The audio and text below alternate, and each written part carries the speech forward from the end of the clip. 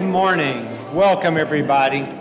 As we get started, just a few uh, announcements to go through. LaDonna, Tina, and Lily are in the nursery today. We got Christine, Becky, and Ruthie on, on tap for next week. Uh, we've got uh, today, we have lunch after the morning service. Please stay with us. We are celebrating our 50th anniversary. And uh, 1972, this church was founded. In a little bit, I've got some video uh, uh, of our three uh, former pastors.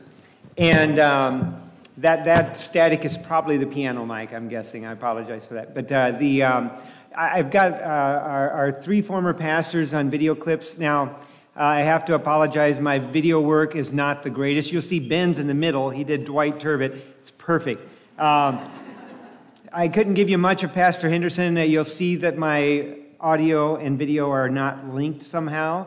And, uh, and then, um, and I did okay with uh, um, uh, Pastor Callahan. But, um, and Pastor Callahan's here today too, just walking in. Praise God. So delighted to have him here. And um, uh, we're just going to spend, I also have a few video clips from 1974 and a few from, uh, from the 1990s, uh, but just like two minutes worth total. I mean, not much at all. Um, I, I, didn't have, a, I didn't, I, I, didn't want to have too long of a video here today, and um, and I'm going to post the full videos online, and I'll send that out in our weekly announcements so you can see that. So that should be kind of fun. After that, we're going to have lunch, just a time of fellowship in the fellowship hall. Um, uh, we will. We want to invite everybody to stay. There's no fee uh, for the uh, meal. It's, we're going to be serving roast beef, mashed potatoes, gravy, a salad, which is a spinach salad with uh, feta cheese, uh, sugared walnuts this time. We did pecans last time. We're going to do walnuts this time. And uh, uh, craisins, and then a homemade lemon and olive oil kind of vinaigrette on the top. And uh, of course, bun roll and then ice cream again. And one of the ice cream flavors is that this just got serious from Tribute downtown. And then also from Tribute, we've got the uh, um, coconut almond delight or something like that. And so it's uh, coconut, chocolate, and almonds.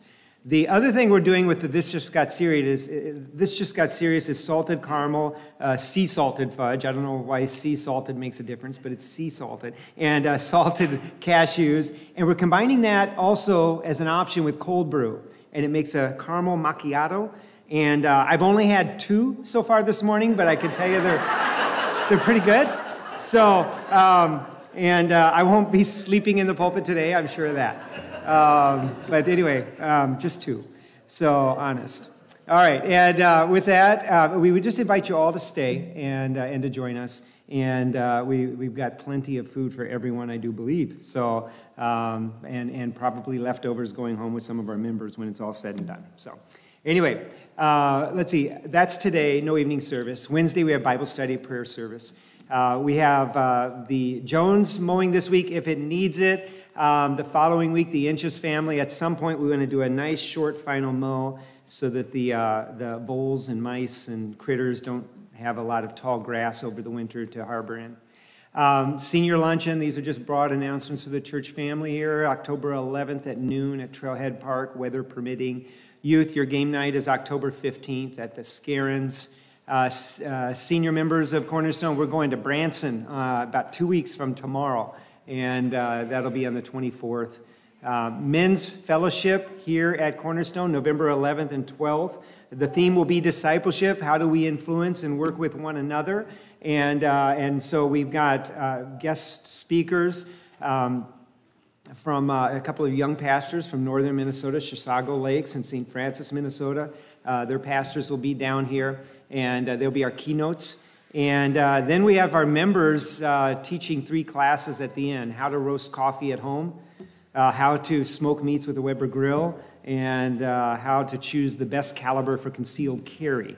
And so those will be just three fun one hour clinics at the very end of this time for men. It'll be a Friday night, 6 p.m. We start with a steak, grilled steak dinner, and then we finish uh, with some smoked meats at noon the next day. So um, uh, sign up online at our website. When you go there, it's right there at the very top, and uh, a very easy 30 second, one minute sign up process. So with that, uh, I want to go to the uh, Word this morning, open up this service together as we celebrate God's working here for 50 years. Psalm 95 says, Oh, come, let us sing to the Lord. Let us make a joyful noise to the rock of our salvation. Let us come into his presence with thanksgiving. Let us make a joyful noise to him with songs of praise. For the Lord is a great God and a great King above all gods. In his hand are the depths of the earth. The height of the mountains are his also. The sea is his, for he made it, and his hands formed the dry land. Oh, come, let us worship and bow down. Let us kneel before the Lord, our Maker. For he is our God, and we are the people of his pasture and the sheep of his hand.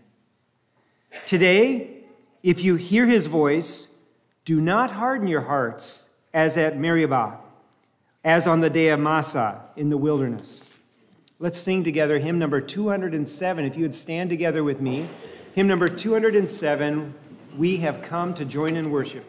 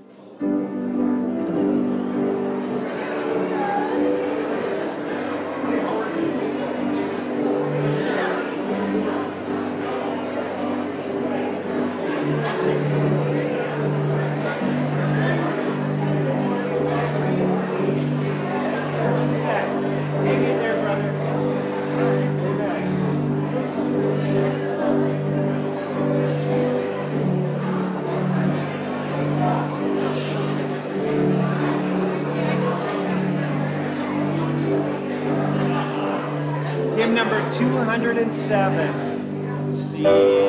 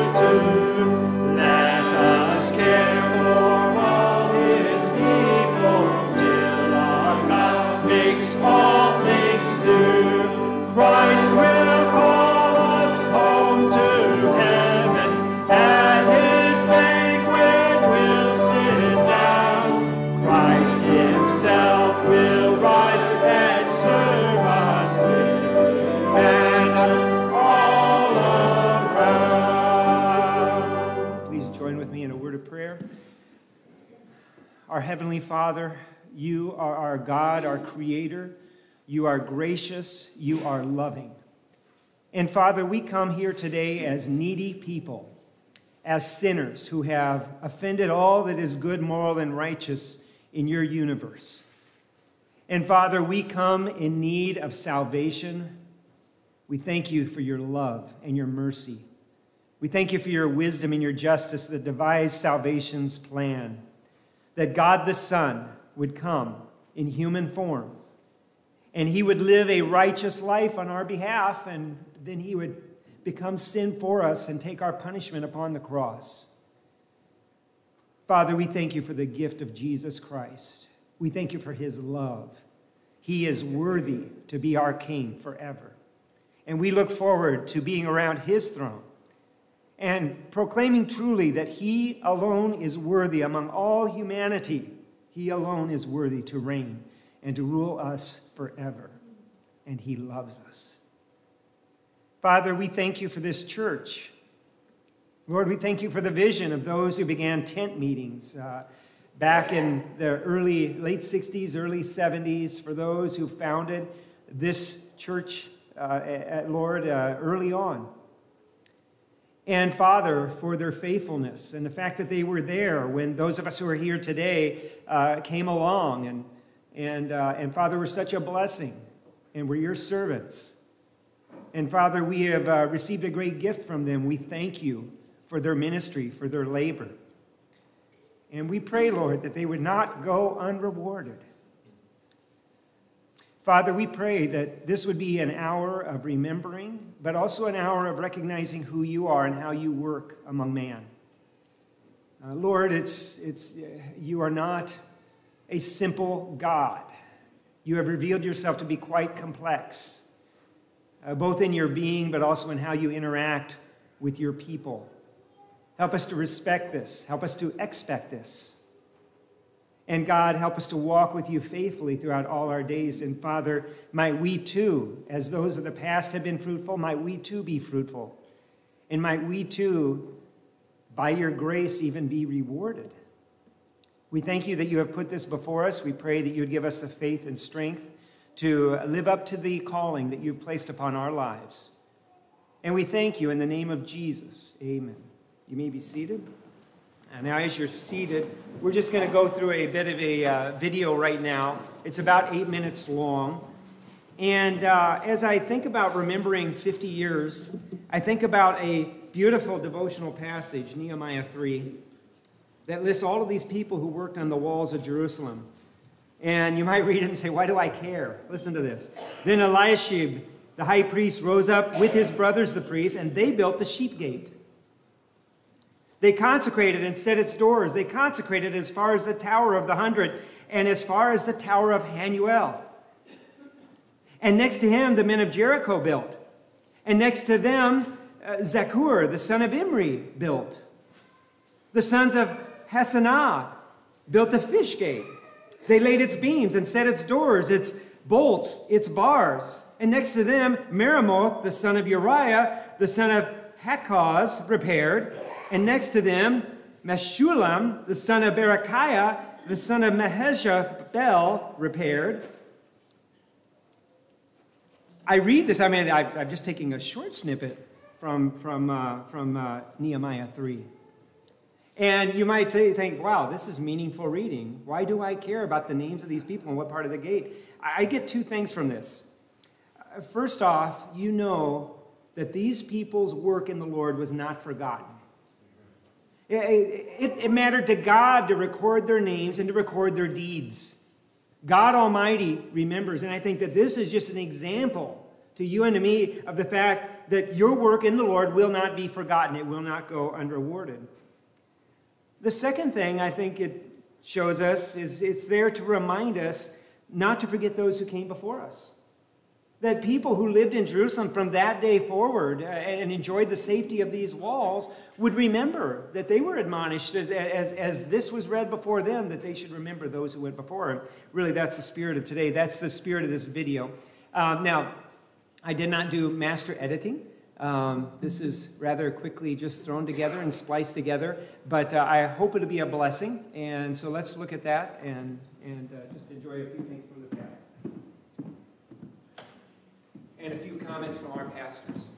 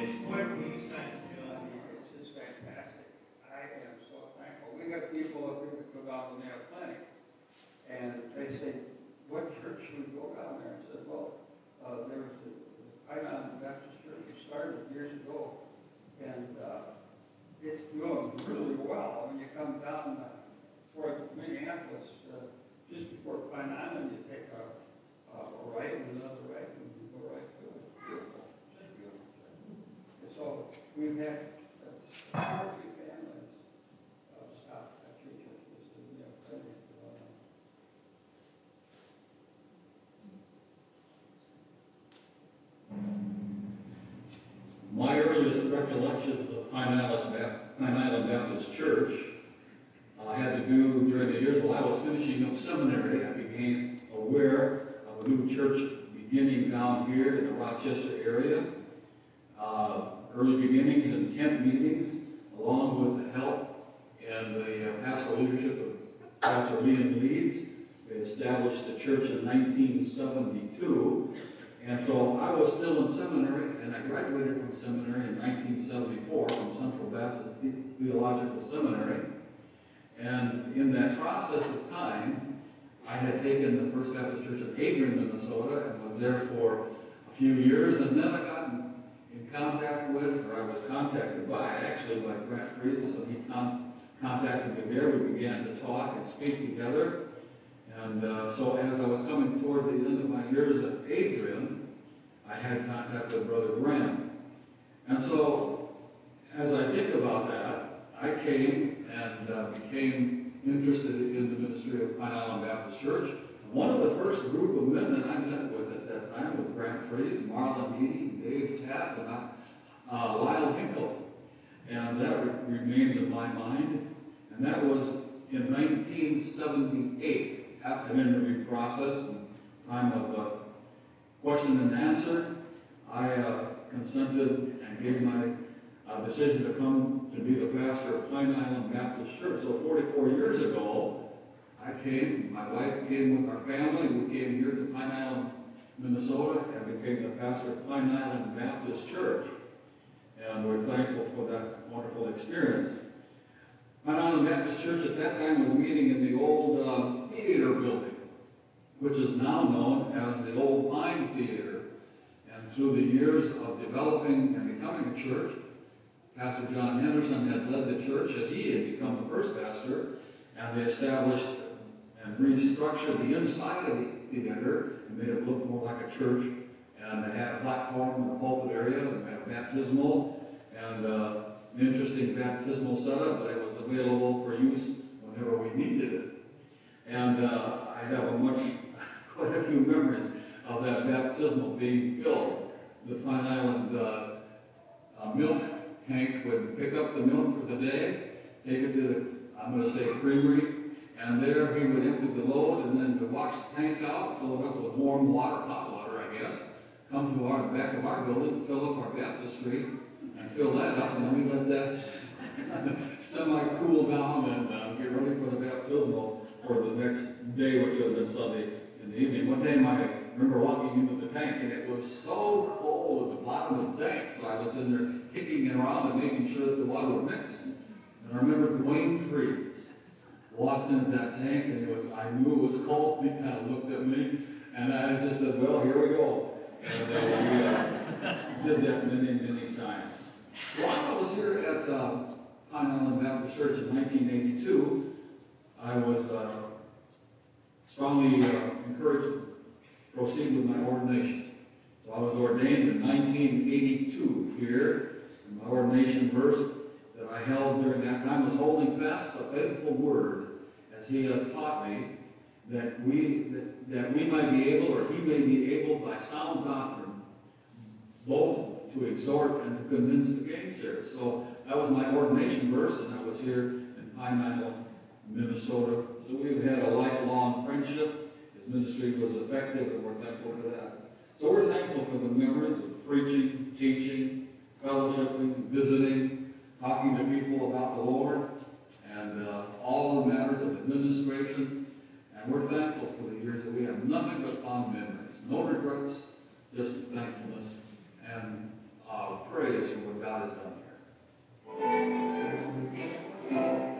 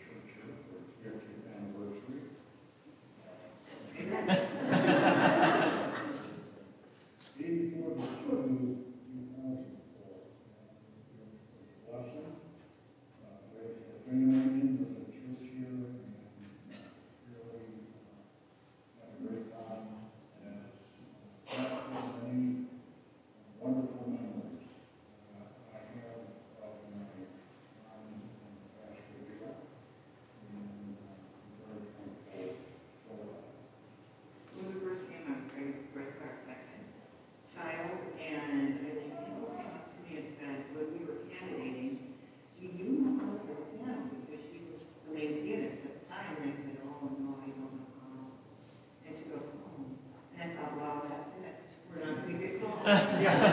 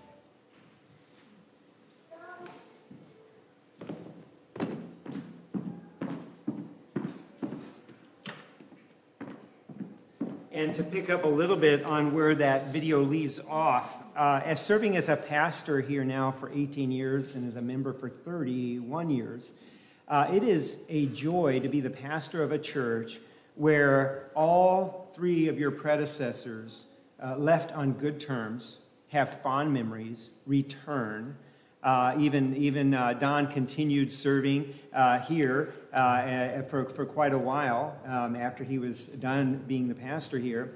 And that, that just really makes you know, all the difference. Uh, and I, I, I, just met uh, with a pastor recently that is just in a church that is struggling. They've struggled to keep a pastor. Every two or three years, they end up with another pastor and, and there just doesn't seem to be that warmth and that relationship and that experience. And so um, I, I, think, you know, ultimate credit goes to the Holy Spirit sanctifying uh, these men in their ministry, but also sanctifying the congregation to, to know how to love and to, to work with a pastor. Um, it, it, it's been a delight for me.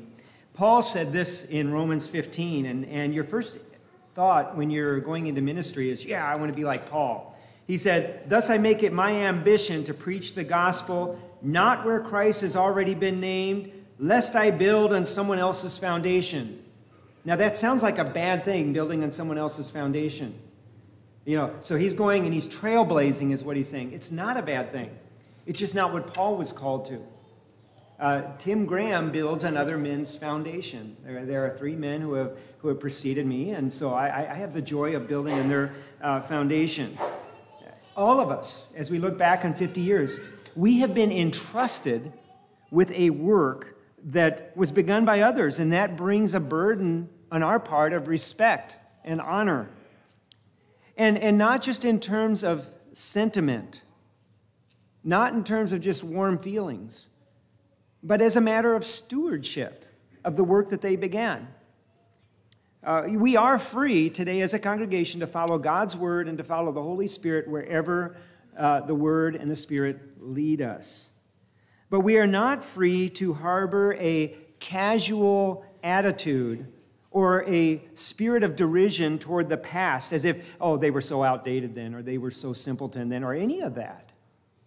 They were God's ministers, uh, they are the founders, and we owe them our respect and we owe them our stewardship. And it would do us well to exercise humility as we honor them. So it's in that spirit that we uh, begin this service today where we celebrate uh, 50 years of God working. At this time, I'm going to ask Ben to come and to uh, lead us in, um, in hymn number 139 Great is Thy Faithfulness. Hymn 139.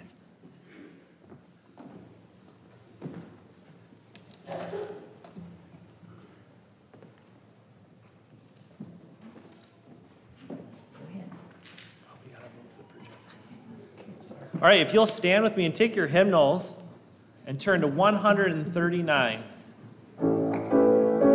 Great is thy faithfulness. We're singing some of the old favorites today, so hymn number 139. At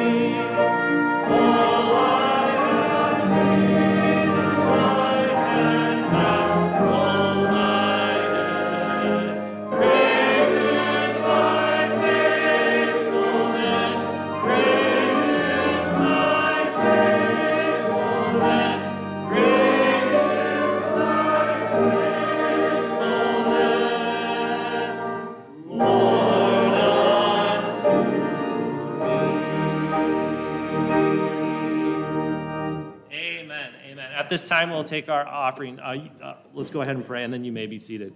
Dear Lord, just thank you for this day. I thank you for this opportunity to gather together as a congregation, Lord. I pray you'd bless this time. And Lord, I pray you'd bless this offering as a, a token of our love, devotion, and dedication to you to further your ministry in our local area, uh, our state, and even our world. In Jesus' name, amen. You may be seated.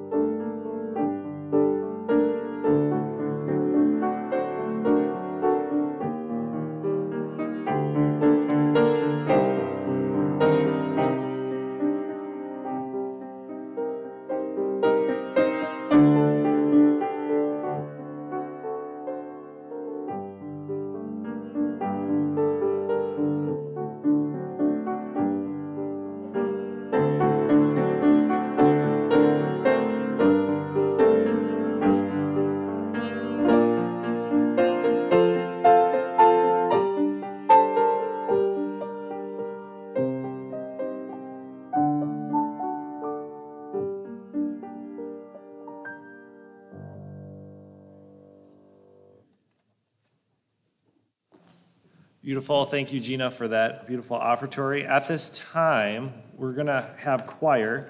And our, our choir is singing Leaning on the Everlasting Arms. And this, this the text from our choir piece is uh, based out of Deuteronomy 20, uh, 33 27. The eternal God is our refuge, and underneath are the everlasting arms. And uh, I just think that as uh, we celebrate 50 years, we wouldn't have made it 50 years without leaning on the everlasting arms of Christ. So uh, just think about that as we as we uh, sing this piece.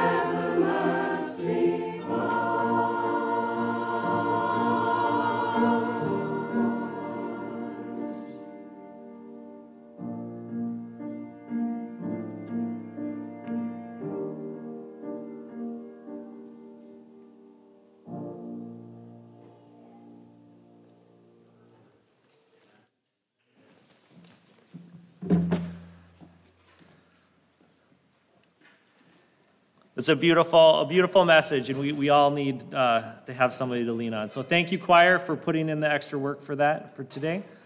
If you'll stand with me and we'll sing our last hymn before the message, uh, we'll turn to hymn number 343. We'll sing Amazing Grace, and if you'll take your hymnals, there's an optional ending, last stanza. We'll sing that as well. And on verse 2, let's go ahead and sing that a cappella. So just be, be ready for that.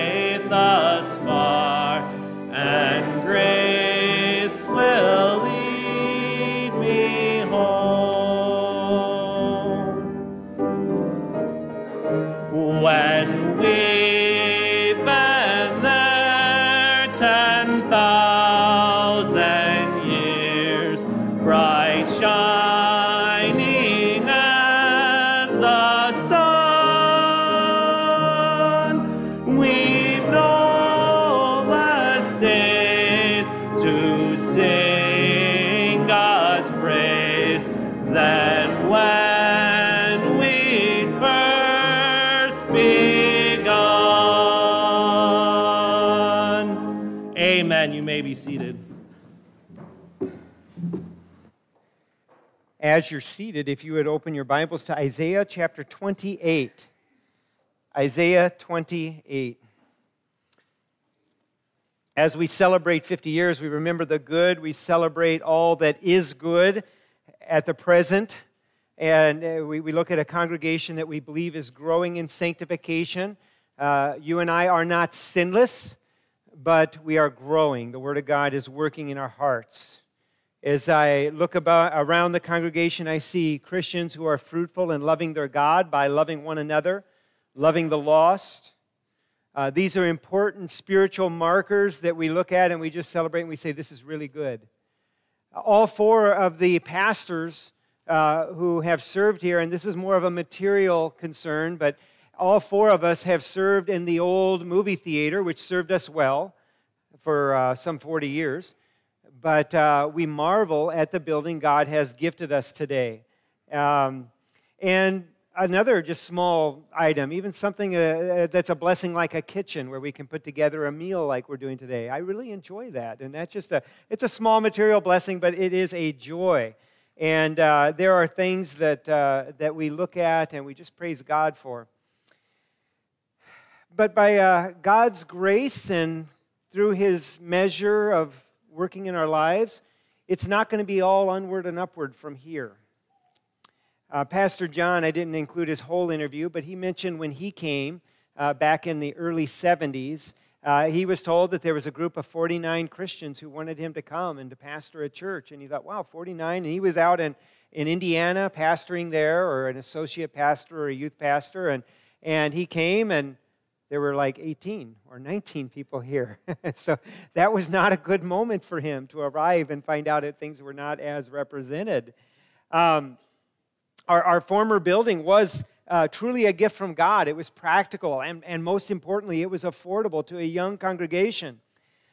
But uh, for those of us, those of us who attended there and, and chose to attend there, it was not a building that the world would esteem as a church, and even other churches would not esteem it as a church. And my three uh, predecessors, uh, John, Dwight, and Don, all not only served in that movie theater, but they lived upstairs in a two bedroom apartment that's above the entryway portion of that movie theater. And, uh, and, and I believe uh, they had large families too in that, in that space. God had various trials and hardships for the church throughout its history, and these were not related to any sin on the part of the church or on the part of people leaving the church. I remember in the 90s, while Don was serving as pastor, I was serving as a treasurer and we had two families leave, and these were two very good and faithful families. In the same year they left, uh, one was a physician, the other was an air traffic controller. Uh, guess what percent of the budget that represented? 40. And uh, as I was serving as treasurer, I was told you pay the pastor and the missionaries first, and then you bring the bills out at the end of the month, and you show which ones are overdue and you just go around to the men of the church. Would anybody like to pick up any one of these bills and help out? Uh, nobody had sinned. Uh, it wasn't a sin for those members to leave, and they didn't leave under any offense. It was just what God had for us. It's, it's not all easy. Various trials and hardships. Uh, recently, we've just, all of our churches have had a uh, trial and a hardship with COVID 19 pandemic a trial that God allowed for his purposes. So today we're gathered and we're going to celebrate God's goodness in manifold ways. But some of those ways are not ways that we would look at and say, oh, that was just so fun. That was so easy. And here's the deal God is not a simple God. He works in ways that we do not expect, in ways that are not easy. In fact, He Himself, through His prophet today, will call his ways strange and alien. At times, his ways are strange and alien. Now, as we look here, we're going to look at Isaiah 28, verses 15 through um, the end of the chapter, verse 29. Uh, as we look at this, I, I want to just kind of set the, the structure because it's a little bit of a hard passage if you don't know where it's going. It would seem that there are leaders in Judah who had made an, a, a, an alliance with Egypt, a covenant of protection, and God's going to call that and mock that as a covenant of death and full of lies. Then God contrasts this covenant of death with the covenant and the foundation that they should have with Him. He has laid and is laying a, a, a, a cornerstone in, in Jerusalem, and they should be trusting Him. They've chosen not to.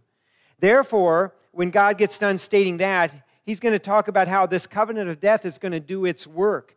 Uh, the bed will be too short. There's a little word picture there. The bed is too short, and the cover is too narrow. If you can think of a more uncomfortable bed, I can't imagine. Uh, then we will end with a parable that likens God's work to the work of a farmer. Does a farmer who plows, is that all he does? Is just plow, plow, plow, plow, plow? Does he not furrow? And when he furrows, which is digging a hole and burying the seed, does he not also sometimes treat seeds differently and just scatter some? And then when it comes to harvest, uh, do you harvest cumin the same way you harvest wheat? Do you beat and thresh with the same instruments? And, and the answer to that is no. Uh, the farmer's work is highly varied, even so is God's. And uh, there is an admonition here that is just beautiful. It matches what was sung by our choir today uh, about resting in God. He's our hope, He's our surety, He is our security. Let's look in Isaiah 28, verse 14. Therefore, hear the word of the Lord, you scoffers who rule this people in Jerusalem. Because you have said, We have made our covenant with death and with Sheol, that's the grave or realm of the dead, with Sheol we have made an agreement when the overwhelming whip passes through, it will not come to us. For we have made lies our refuge, and in falsehood we have taken shelter. I doubt very much those were their original words, by the way. I think that's God's mocking of it. Verse 16 Therefore, thus says the Lord God, Behold, I am the one who has laid or is laying as a foundation in Zion a stone, a tested stone, a precious cornerstone of a sure foundation Whoever believes will not be in haste. And I will make justice the line and righteousness the plumb line, and hail will sweep away the refuge of lies, and waters will overwhelm the shelter. Then your covenant with death will be annulled, and your agreement with Sheol will not stand. When the overwhelming scourge passes through, you will be beaten down by it. As often as it passes through, it will take you. For morning by morning, it will pass through, by day and by night, and it will be sheer terror to understand the message. For the bed is too short to stretch oneself on, and the covering too narrow to wrap oneself in. For the Lord will rise up, as on Mount Perazim, as in the valley of Gibeon, he will be roused to do his deed. Strange is his deed, and to do his work alien is his work. Now, therefore, do not scoff, lest your bonds be made strong. For I have heard a decree of destruction from the Lord God of hosts against the whole land. Give ear and hear my voice. Give attention and hear my speech. Does he who plows for sowing plow continually? Does he continually open and harrow his ground? When he has leveled its surface, does he not scatter dill? And sow cumin and put in wheat, uh, put in wheat in rows and barley in its proper place and emmer as the border? For he is rightly instructed, his God teaches him. Dill is not threshed with a threshing sledge, nor is a cart wheel rolled over cumin, but dill is beaten with a stick, and cumin with a rod. Does one crush grain for bread? No. He does not thresh it forever when he drives his cartwheel over it with, with his horses. He does not crush it. This also comes from the Lord of hosts. He is wonderful in counsel and excellent in wisdom. Let's pray. Father, as we look at your word today and we look at your work among man, uh, we are looking at disobedient scoffers, yet they are your people. And Father, you work in different ways, strange ways, alien ways to what we might expect. Lord, I pray that if you bring hardship into our lives, that we would not be jilted out of our faith, that we would not think you unfaithful, but we would see how complex and manifold your purposes are in good events as well as in hard events. Father, I pray that you would cause us to be very careful as the newer members of this 50 year old church not to be scoffers. Uh, Lord, not to look at the past uh, with, uh, Lord, uh, the culture of the past and scoff and think that we are so much more sophisticated in the year 2022. And Father, I pray that we would not scoff at the realities of your word, that, Father, we would love it and apply it to our lives. Bless us as we study together. In Jesus' name, amen. As we begin our study this morning, we see in point number one here that Judah has entered into a covenant that displeases God, and God is going to judge Judah for this. Look at verses 14 and 15. Therefore, hear the word of the Lord, you scoffers. Now, let's just stop there real quick. There's a therefore, so that means some things have gone on before. And he, said, he calls them scoffers. Who is he addressing? I believe if you look back at chapter 28 and verse 7, he is addressing the prophets and priests, the false prophets, and the bad priests in Jerusalem. Look at verse number 7 after, after talking about the drunkards of Ephraim in the early part of the chapter, in verse 7, he said, These also reel with wine and stagger with strong, strong drink. The priest and the prophet reel with strong drink. They are swallowed by wine. They stagger with strong drink. They reel in vision. They stumble in giving judgment. For all tables are full of filthy vomit with no space left. Uh, this is how the Word of God characterizes the religious elite in Jerusalem. Uh, they seem to have quite the affinity for wine and strong drink, mentioned some eight times, I believe, in that passage, in those two verses. Verse number nine is a quotation, and I believe it's a quotation that's being thrown back at them. Uh, basically, these are the religious elite. They had all the, the, the uh, scholastic pedigrees. And, and they would probably look at the people of Jerusalem who they were to serve, and they would say, Listen, Theology is not something you should do at home. Leave it to the professionals, okay? Um, you know, uh, you, you, can't, you can't be drinking milk at your mother's breast still and, and understand the meat of theology. Leave that to us. But I think what God is doing is He's going to throw this back in their face because verses 9 and 10 seems to be God taking something they were saying. He says, To whom will He teach knowledge? And to whom will He explain the message? Those who are weaned from milk, those taken from the breast. For it is precept upon precept, precept upon precept, line upon line, line upon line, here a little, there a little. Now that's our translation. I showed you the Hebrew interlinear, which took line upon line, precept upon precept as blah, blah, blah, blah, blah, blah. That this would be a way of mocking the, it could be the sounds of the alphabet, the ABCs, ABCs. And, and so, again, what I think he's doing in verse 10 is he's taking their mockery of the religious faithful who read God's word and apply it to their lives. And, and this happens to evangelicals all the time today. Uh, you actually read this book and you apply it to your life. You think this is the inerrant word of God. Oh, you know, you're so simple. You're so rednecked. You're so unsophisticated. And, and the world just holds you in derision. And I believe that the, the, the elites were holding the faithful in derision for taking God's word at face value, that we should trust God and not go after Egypt for our security. Well, and then this is, of course, turned back on the elites in verse number 13. And the word of the Lord will be to them, blah, blah, blah, blah, blah, blah, blah, blah, blah, and uh, here a little and there a little, in order that they may go and fall backwards. In other words, the religious elite are going to be tripped up by the word of God. And we saw that in the modern parables of Jesus or the, uh, the, the, first century parables of Jesus, that he taught them in parables in order that hearing they would hear and not understand. Uh, they were tripped up by the most simple of teaching. And that seems to be the judgment that's going on. And so in verse 14, it says, Therefore, hear the word of the Lord, you scoffers. Scoffing is going to, to really sum up what these religious leaders are who rule this people in Jerusalem. Verse 15, because you have said, We have made a covenant with death, and with Sheol, the grave, or the realm of the dead, we have made an agreement. When the overwhelming whip passes through, it will not come to us. For we have made lies our refuge, and in falsehood we have taken shelter.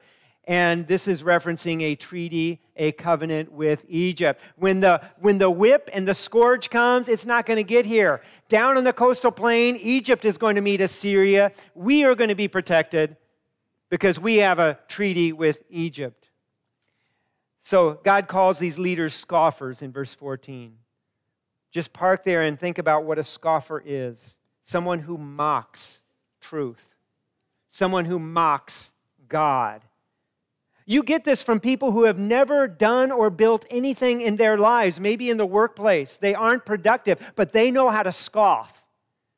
Uh, for, for anybody who's making any movement, any changes, any progress, they know how to scoff. And somehow they gather a following, having done nothing but work their mouth.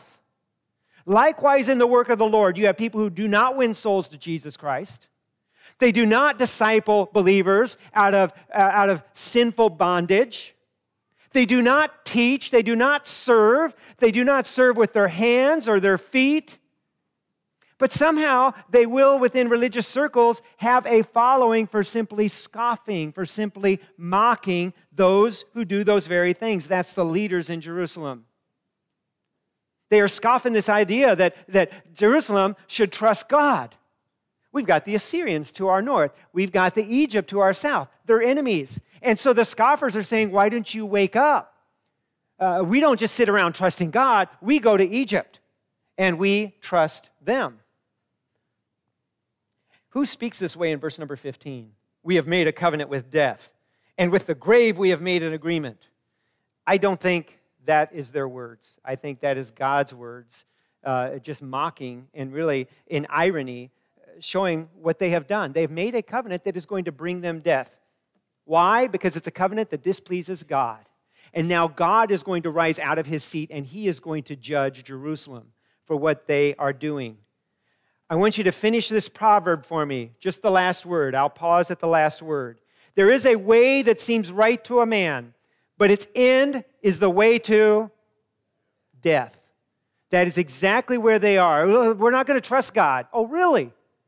Now you're going to cause God to rise up out of his throne seat and do a work that is very alien, very strange even to him. He is going to rise up against you, Jerusalem. Our application today is this be very careful how you live your life. This is the Word of God, it is inerrant, it applies to your life. It is more relevant than tomorrow's newspaper to your life. You want to be reading this word and making your decisions in light of this word, asking the Holy Spirit to give you clarity, to give you understanding, and using your local church family when you're really struggling to have them pray for you and to counsel you. Be very humble. Be very careful how you make decisions and always do so with an eye to God. He wants to be your God just as He wants to be Jerusalem's God. He wants you to walk with Him by faith on a daily basis. So, in this first point, we see that God is displeased with a covenant made by Jerusalem that they thought would bring life, but it's going to bring death. What's wrong with a covenant with Egypt? I mean, you've got two nations. What's wrong with a covenant with Egypt? Point number two here God is laying a cornerstone in Jerusalem verses 16 and 17. Therefore, thus says the Lord God Behold, I am the one who has laid or is laying. There's a little bit debated as to how to translate that verb. Who has laid or is laying as a foundation in Zion a stone, a tested stone, a precious cornerstone of sure foundation. Whoever believes will not be in haste. Our choir sung about resting in God today and, and taking refuge in Him. Whoever believes will not be in haste. That is a call to you and me to wait on the Lord. Verse 17, and I will make justice the line and righteousness the plumb line. All hail will sweep away the refuge of lies, and waters will overwhelm the shelter. God has a purpose and a plan for Jerusalem and for Judah, for Israel. He had it from the very beginning when he made his promise to Abraham. He said, I'm going to make of you, Abraham, a great nation. and through you all the nations of the world will be blessed. This promise of God involved both a uh, people of God as well as the Son of God that would come from that people, Jesus Christ, our Savior. The people of God was Israel. They had a covenant in which they were to trust and obey God. And when they trusted and obeyed Him, God would publicly, demonstrably bless them. A lot of health and wealth gospel preachers trip up over this fact that God, yes, did have a national promise for national Israel where he would demonstrably bless them when they followed him. And this was lived out greatly in the day of King David. He also said that when they didn't, and this covenant was an act of betrayal, because it doesn't show that they are trusting God for Him to bless Him, but rather they are going to unreliable, uh, uh, sinful, pagan nation and making covenants with them. And when they do things like that, God promised that He would bring down curses upon them. Now, if you read that, it's Deuteronomy 28, back in this day and age, and you applied Deuteronomy 28, the religious elite would just scoff at you and say, you know, you're just taking the Bible too literally. We are a nation, Egypt's a nation. We can get along. We can have covenants, we can have treaties and they would just simply scoff at those who are trusting. Why is it wrong? Where in the Bible does it say it's wrong for Israel to make a covenant with Egypt? Well, in the Torah, it said someday you're going to have a king. But there's three things this king will not have. Number one is lots of gold. Number two is lots of horses. Number three is lots of wives. And the concern was not monogamy. Lots of gold has to do with your trust becoming your riches, or riches becoming your trust. Lots of horses has to do with your military power becoming that which you trust. And lots of wives has to do with diplomatic relationships with your neighbors. That's how you had diplomacy in antiquities. In fact, we even see it in Western Europe. If you, if you look at uh, Queen Victoria and Prince Albert, they were first cousins. I mean, you know, these nations just, they, they, they, they married with each other. And, and, and they did this because if you are a king and your neighbor is a king, but your daughter is one of his wives, you have family there. And you're going to be respectful, at least more likely to be respectful. So uh, if, if the king was not to engage in this mass diplomacy, but rather to demonstrate faith in the Lord. Likewise, for Jerusalem at any era, to go around making these covenants.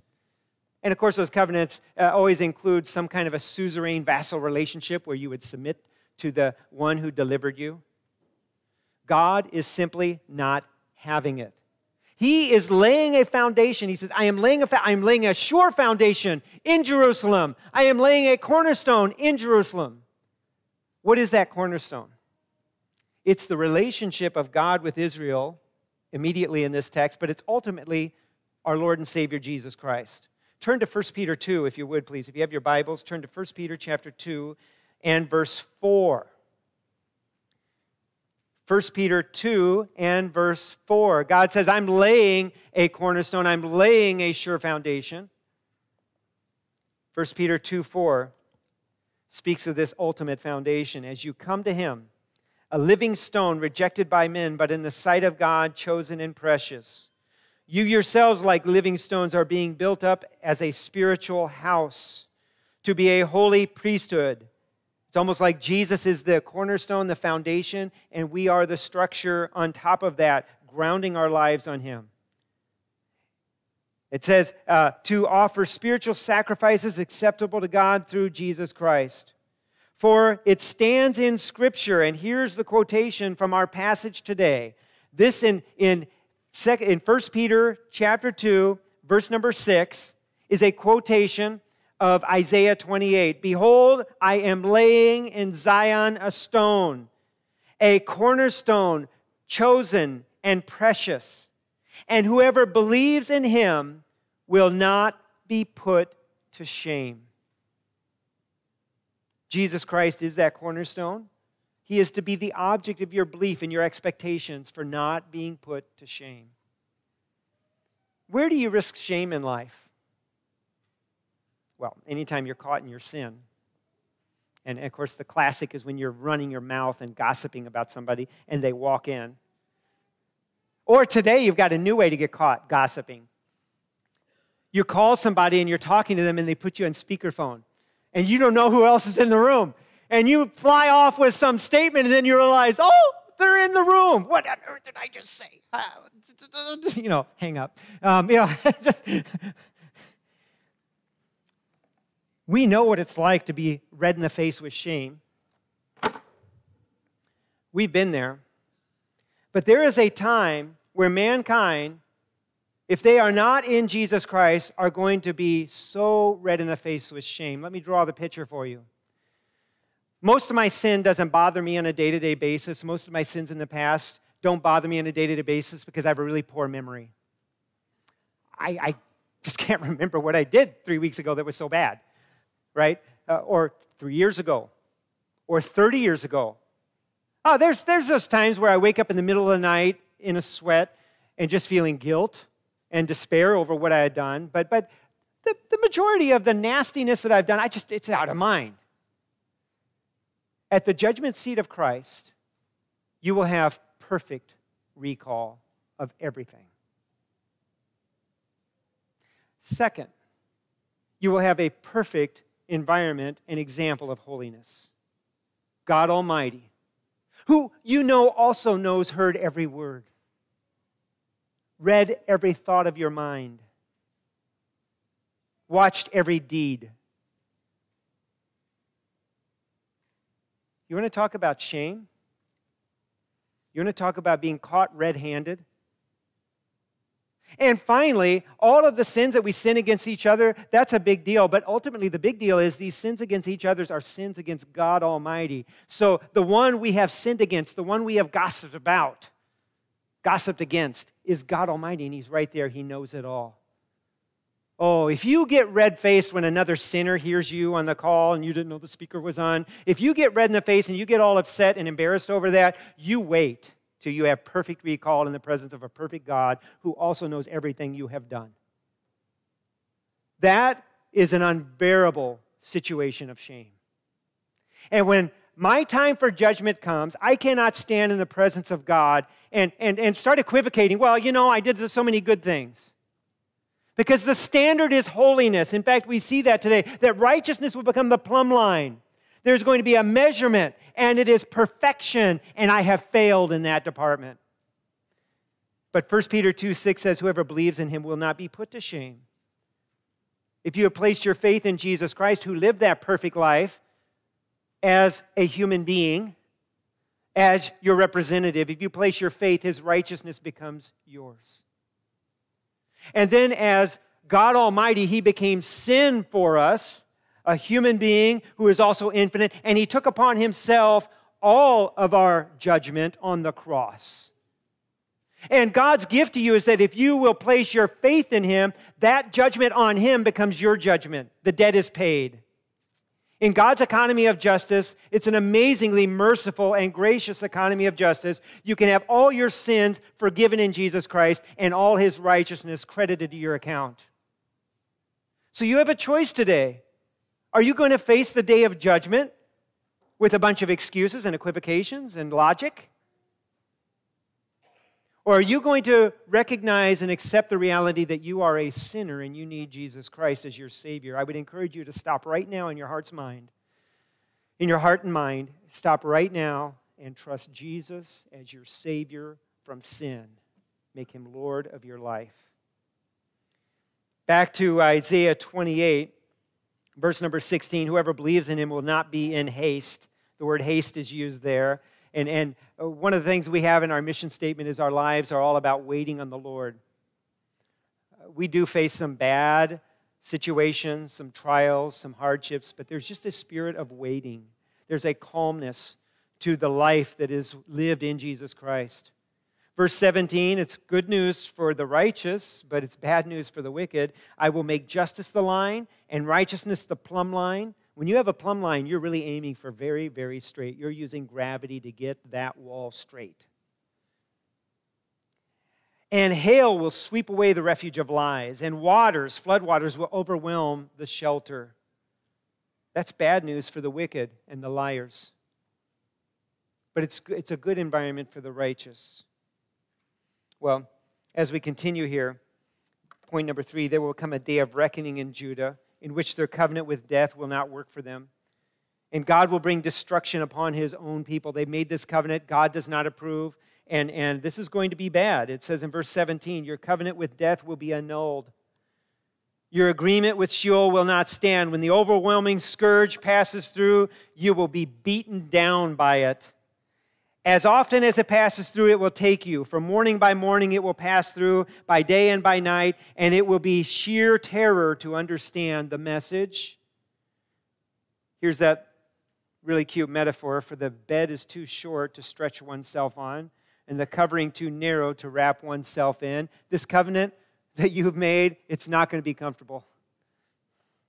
Verse 21 For the Lord will rise up as on Mount Perazim, as on the valley of Gibeon. Now, Perazim and Gibeon were good events for Israel. God rose up and he delivered David and he delivered Israel, he delivered Judah. But not so this time. It says, He will be roused to do his deed, strange is his deed, and to do his work, alien is his work. God, through his prophet, is calling his own work strange and alien. Before, he roused up to save you. This time, he is rousing up to destroy you, Judah. Now, therefore, here's a good piece of advice do not scoff, lest your bonds be made strong. For I have heard a decree of destruction from the Lord of hosts against the whole land. Do not scoff. You know, to make ourselves feel better when we're in a state of rebellion, we can become scoffers. We can become mocking. We can become hard. It, it, it, with Pharaoh, it was a hard heart. You remember every time he got judged, he just hardened his heart. And what came? More judgment. When you sense God's hand of judgment on your life, I would ask you as well to have a soft heart, to be repentant, to deal with sin, and to hope that God's hand of judgment and chastisement will be lifted from you. Not all suffering is chastisement. Job was not was not uh, brought into his suffering because he was unrighteous. He was brought into suffering because he was righteous. And God had some things to demonstrate through him. But when you do sense God's hand of judgment on your life, when you have something happen and you say, oh, things are not right here between me and God, get it right. Work on that quick.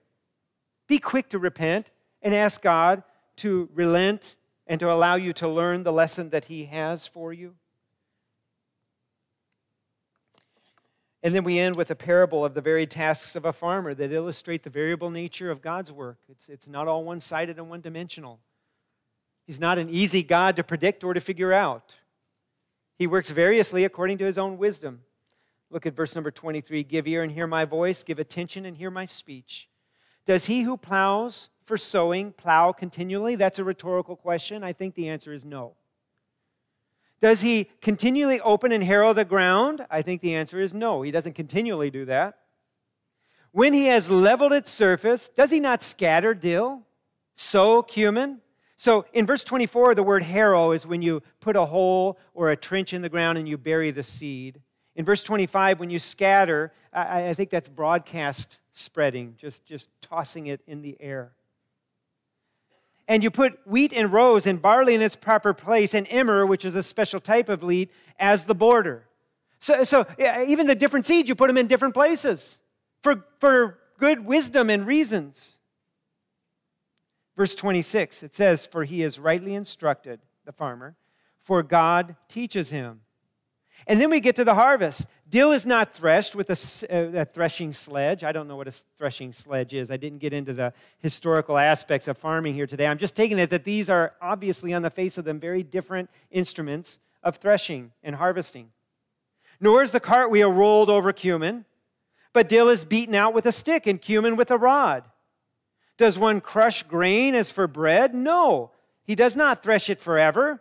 When he drives his cartwheel over it, with his horses. In other words, he doesn't just drive and drive and drive and drive, there's a limit. He does not crush it. This also comes from the Lord of hosts. And here's the point He is wonderful in counsel and excellent in wisdom. God knows what you need. He knows what Cornerstone Baptist Church needs at this very hour. And we can't predict what that will be this year or for the next 50 years. We do not know what kind of a journey God has for us.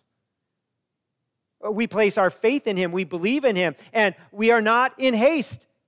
We are, we are not in a position of anxiety over it. We are resting in our God Almighty in His wisdom and His varied ways of working. I will just point out notice these verbs, how violent they are in verse 27 and 28 threshed, beaten, crushed, driving over something with a wheel.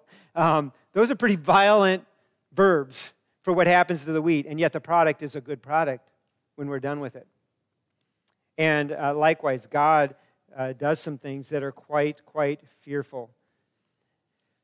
The application I would take away from this is do not make God out to be a one dimensional God. We have these false Christian fairy tale expectations that when we get sick, we pray to God and whew, life becomes easy. The badness goes away every time. That would be a false narrative. It would be a false narrative to say that the closer you are to God, the easier your life will become. God allows hard things. God threshes, He rolls over, He beats, He crushes, according to His wisdom, to a very good outcome. And let me just repeat as we wrap up here the advice of verse number 22 do not scoff, lest your bonds be made strong. When you give God the cold shoulder, when you seek to punish God for not doing what you wanted when you wanted, this will not go well for you. Be humble, be soft hearted, be repentant. Whether we are talking about the life of a church of 50 years or whether we are talking about your own life, we serve a God who walks in manifold ways. You might not even recognize his hand in one person's life compared to the next person's. God works differently according to his plan and his counsel. Do not think that you can outsmart God or outweight God. You cannot disobey him and have it go well for you. Eventually, you will be judged. And when you cross the line to openly mocking him and mocking those who serve him, your bonds will be made strong. Let's humble ourselves and serve according to his will and wisdom and praise God for all that has taken place for the past 50 years, many differing events. May he be glorified. Let's pray. Father, we love you and love your word. And God, we love the opportunity we have to be here today together with uh, many of our brothers and sisters of the past visiting together with us. It's a delight to have them. It's a delight to be together with one another. I pray that you would bless the fellowship and, and uh, Lord, renew connections. And uh, God, that we would just rejoice in what your hand has done over 50 years. Thank you, Father, that every person here in this room today has a part in your work, that you have divinely appointed them to be here. Lord, if any haven't trusted Christ, I pray that they would do so today. I pray, Lord, that they would not stand in shame at the judgment, that they, but that they would stand in Jesus Christ. Lord, we pray for the meal and fellowship that is about to follow. We ask for your blessing on it. We give thanks, Lord, for the many people who have helped in the preparation of this day. And Lord, we pray that your Spirit would be upon us to fellowship and to love as you would have us to fellowship and love as family. We ask these things in Jesus' name. Before Ben comes to uh, uh, close us with a, uh, a, closing hymn, I'll just uh, renew our invitation. Please stay with us, uh, dine with us. We have plenty of food. We are going to add some uh, tables. We've already added them. In fact, I see outside the outside in the back. So if you have kids who want to play on the swing set while you eat, you can go out there if that's comfortable for you. It's a beautiful day, and so please join us. Please stay. And I'll ask Ben to come and lead us in hymn number 712. Be still, my soul. If you'll stand with me, we'll sing verses 1 and 3 of 712.